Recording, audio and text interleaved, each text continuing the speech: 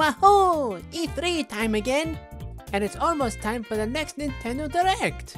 What do you think they're to say, Mario? Maybe announce one of our new games? Eh, Mario? A new direct means a new Smash Fighter. I'm not taking any chances.